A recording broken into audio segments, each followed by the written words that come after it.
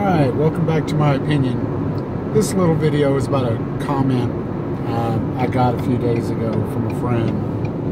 Um, if you don't have a gun in your car, um, having a a club or um, using your tire iron. Your tire iron because it's part of, you know, tire changing kit and you can't get in trouble um, like you could in some areas if you have a firearm.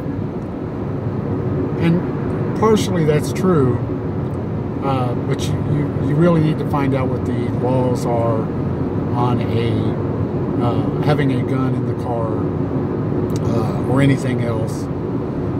Um, if you if the only thing if you live in a, a, state or area where you cannot have anything other than a something like a tire iron because you know that's part of your tire changing kit etc that's fine. But just know this if you are allowed to have a firearm that means everyone else is allowed to have a firearm.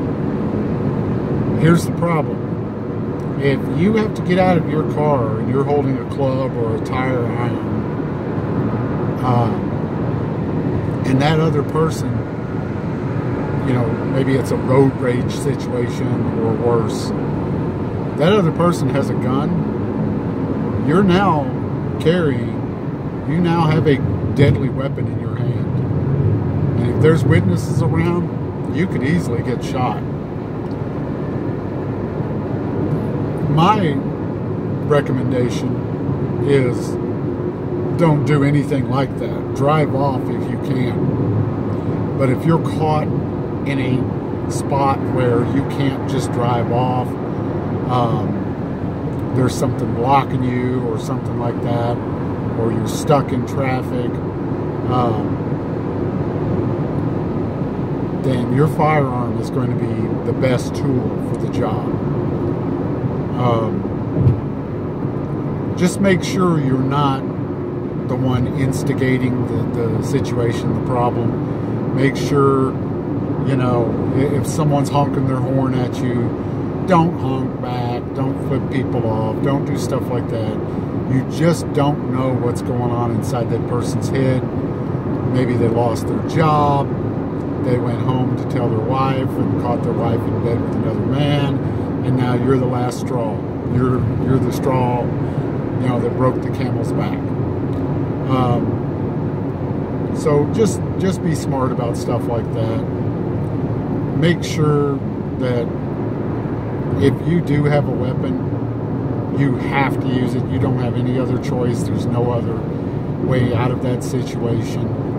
Uh, otherwise, you could end up something stupid road rage is something that you would have forgot about five minutes after it happened. Uh, think of the last road rage situation you had. Someone cut you off or something. You forgot about it five minutes after it happened. Why mess up and end up in jail or worse for something so silly? But anyway, that's just my opinion. Um, keeping a firearm in the car is the best tool possible if you can. But remember, it comes with ultimate uh, responsibility. Anyway, like, share, and subscribe, and stay safe and be safe.